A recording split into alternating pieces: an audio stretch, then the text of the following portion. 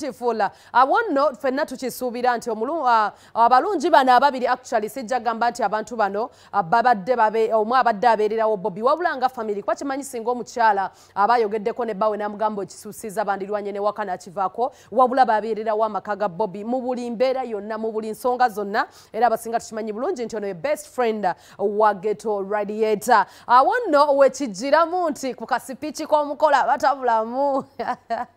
Yawadde speech eyakutudde emiteeko kubo n'alyoka ayogera bambi n'agamba nze nina ne wenatuuka nga nsuubira muto wange ajja bifiiramu you know how politics is naye ate baserebu tulina obboogerako era yayimiridde n'ayogera ne yeebaza nobyanli wabula ekyasinza okukwata omubabiro yamugambye owasiza omukyalo ono officially nange bulijjo nkirindiridde. Wabula mulimu abakyala nga hakki tulimu nga kumi.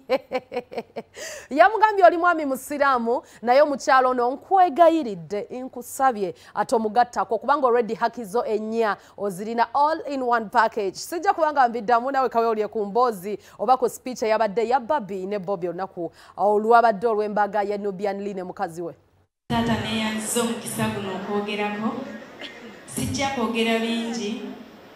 Nja kusooka okwebaza ggwe okutuleetera mukwano gw'omu maka gaffe eyafuuka mukwano gwaffe ate n'atuleetera mukyala we n'afuuka muganda wange.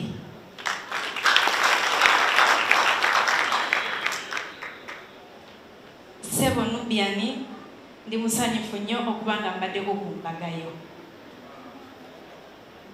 maama meha okusiiba n'okusaba byonna katonda abizzeemu.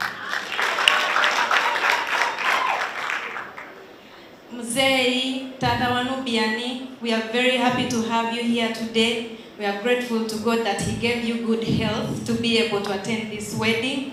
We are praying that you could be able to come, and we are very happy that you're here. Mama, nabi wacu mwese. Uyu munsi ni umunsi mwiza Imana irawuduhaye. Mami Meha ajja kukwebaza okumbeererangawo n'okunjagala naye okusinga okunjagalira abaana. Mama Meha oyo gwe mulaba ayagala abaana bange okunsinga. Era ebibafaako aba abimanyi nnyo n'okusinga nze abazaala. Era ekyo nkimwebaliza kwebale.